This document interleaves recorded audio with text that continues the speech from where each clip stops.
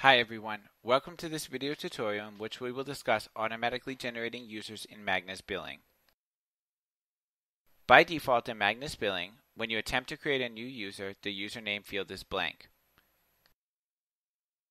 We do not suggest users that start with uppercase letters or special characters.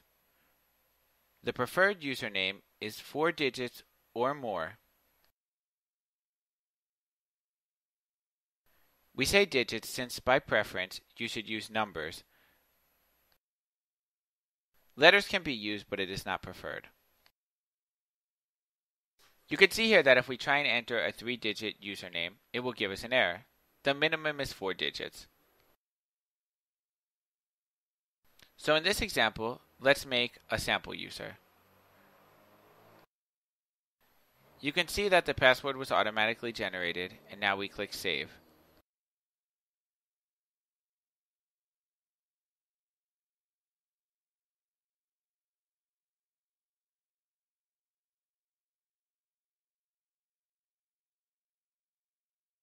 Now let's set up automatic user generation. Let's go to the configuration menu Go to the username auto generate option and change the value from 0 to 1.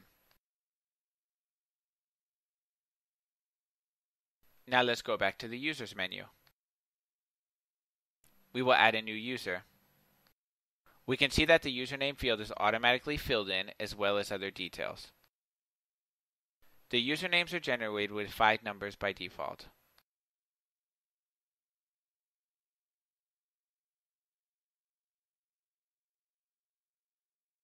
If we go back to the configuration menu, we can see the username length option. We can change this value to anything we'd like. By default, usernames are 5 digits.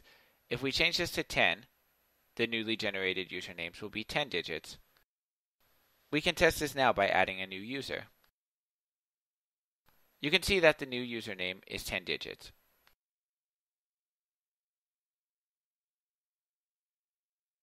We can also add a prefix to the username. Let's say that we want all of our usernames to start with 11. We go to configuration and then go to username prefix. We enter the prefix as the value that we want. In this case, we'll put 11, and then we'll click Save.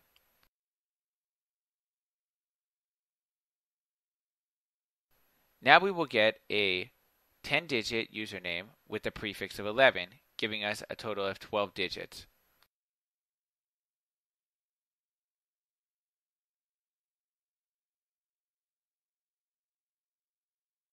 Let's say that we want a 6 character username starting with 11. We would change the username length to 4 and leave the prefix as 11. This would give us a total of 6 digits with 11 as the prefix. We will test this now. Once we click add new user you can see we have a total of 6 digits starting with the prefix 11.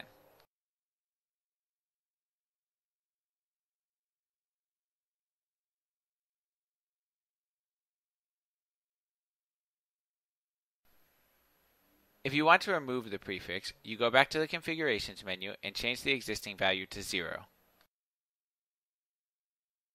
If we click new user, you can see that we will no longer have a prefix generated. That will conclude this video. Remember to subscribe to our channel.